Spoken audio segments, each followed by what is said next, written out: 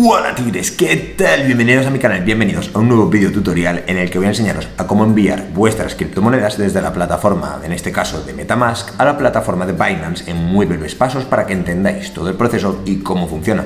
Por eso, si una vez has acabado el vídeo te ha servido y lo has entendido perfectamente, mírate este otro video tutorial en el que te enseño a enviar desde Binance a Metamask, es decir, el proceso a la inversa, pues te lo explico en ese video tutorial que te dejo arriba en las tarjetas. Dicho esto, si tienes alguna duda, te dejo también nuestras redes sociales en el primer comentario para que nos las preguntes, tanto en Twitter como en Instagram, y puedas interactuar con la comunidad si te apetece, preguntando dudas, comentando opiniones o, bueno, principalmente con sugerencias para futuros tutoriales. Dicho esto, no te quiero entretener mucho más. Vamos con la intro a toda leche, que comenzamos.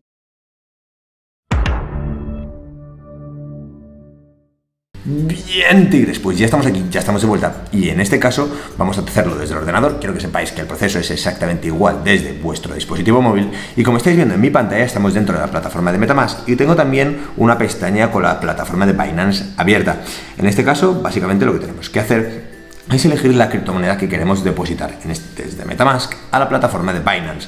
En este caso yo voy a depositar Avalanche porque tengo unos poquitos de Avalanche dentro de la plataforma de Metamask, pero tengo también otras criptomonedas. En este caso si por ejemplo le damos aquí a la parte de las redes, pues veremos otras blockchains que tengo agregadas como la BNB Chain, Polygon, Phantom, Kronos, la red principal de Ethereum, y si quieres aprender a agregar estas blockchains y no sabes cómo hacerlo, mírate la lista de reproducción que te dejo aquí arriba de las tarjetas donde te enseño paso por paso cómo agregar cada blockchain en la plataforma de Metamask. Ya sabemos que algunos tokens se pueden almacenar en unas blockchains y algunos tokens no se pueden almacenar en otras blockchains y esto es muy importante para que tú entiendas cómo enviar estas criptomonedas de una red a otra. También te voy a dejar un video tutorial aquí arriba en las tarjetas para hacer cross bridge o los puentes básicamente entre blockchains y que tú puedas enviar tokens desde una blockchain a otra blockchain y luego puedas enviarlos a la plataforma, por ejemplo, de Binance, de Coinbase o a otra wallet externa que tú tengas. En este caso, como decía, tengo la red de Avalanche, que es la que voy a utilizar con unos pocos AVAX y lo que vamos a hacer principalmente es sacar la dirección de la wallet, en este caso de Binance. Por eso vamos a irnos a la plataforma de Binance, y una vez que estamos en Binance, vamos a darle a la parte de depositar, ¿vale? Aquí arriba, en amarillo. Vamos a darle a Crypto Deposit. Y una vez le damos a Crypto Deposit, vamos a elegir la criptomoneda que nosotros vamos a enviar, que en este caso es la de AVAX, que es esta que está aquí. ¿Qué blockchain vamos a utilizar? Pues nos vamos a AVAX-C y una vez nos vamos a AVAX-C nos aparece aquí el address, que es este que nos aparece, y aquí nos aparece cuántas confirmaciones necesita la blockchain, cuánto es el mínimo y básicamente vamos a copiar esta dirección de la wallet, vamos a irnos a la plataforma de Metamask, vamos a hacer clic sobre los AVAX, vamos a darle a enviar estos AVAX y una vez le damos a enviar pegamos la dirección de la wallet. Lo acepta, ¿vale? Porque es una wallet aceptada por la plataforma de Metamask. Vamos a poner el importe, ¿vale? Que en este caso vamos a poner un saldo un poquito pequeño para ver si se ejecuta correctamente el proceso. Vamos a poner un AVAX datos hexadecimal no vamos a poner nada, vamos a darle a siguiente. Y una vez estamos aquí, nos pone la tarifa máxima, que en este caso son las comisiones que nos van a cobrar, y las estimadas de gas, ¿vale?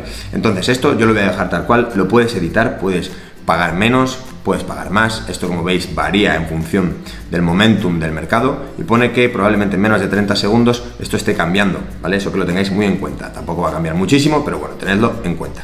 Aquí nos pone el total, vamos a darle a confirmar y ahora mismo lo que hemos hecho ha sido enviar una porción pequeñita de estos AVAX para comprobar que se ha ejecutado correctamente el envío.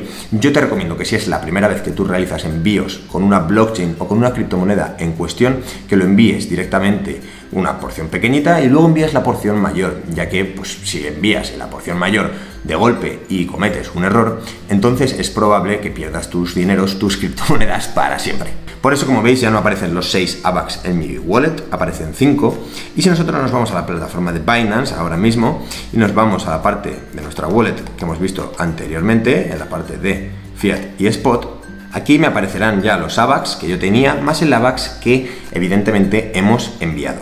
Si tú quieres tener más datos, puedes irte a Transaction History o el historial de transacciones y aquí te aparecerán todos los que has ejecutado, tanto retiros como depósitos. En este caso, como veis, bueno, pues hay un depósito que está en proceso, confirming 7 de 12, es decir, que se han ejecutado 7 confirmaciones de las 12, y una vez se hayan ejecutado las 12 confirmaciones, este AVAX que pone amount 1, pues llegará correctamente a nuestra wallet de Binance. Si tú quieres enviar el resto, ya sería volver a realizar el mismo proceso. Te vienes aquí, le das enviar, pones la wallet que hemos pegado antes, ponemos el saldo total, de los 5 que teníamos antes, le damos a siguiente, aquí nos pone el gas que nos van a cobrar, le damos a confirmar y ahora veremos que, bueno, pues que la, la transacción se ha ejecutado correctísimamente, que el saldo ya dejará de ser estos 5,0102 y aquí en la plataforma de Binance, por cierto, como veis aquí está confirmada, ya nos pone la transacción aquí, ya no tenemos casi nada de AVAX, nos vamos a Transaction History, actualizamos dentro de la plataforma de Binance y veremos básicamente las dos transacciones cómo se están ejecutando. Aquí nos aparece el de un AVAX y ahora nos aparecerá el otro de 5 AVAX. De hecho, tras actualizarlo, vemos que en el Transaction History ya están nuestros AVAX en la Spot Wallet, se ha completado la transacción. Y si te ha gustado el vídeo, dale un super like, mírate este otro vídeo para aprender cosas nuevas dentro del mundo de las criptomonedas o suscríbete aquí para tener los mejores tutoriales dentro de YouTube. Espero que te haya servido y nos vemos en el próximo vídeo. ¡Que vaya bien!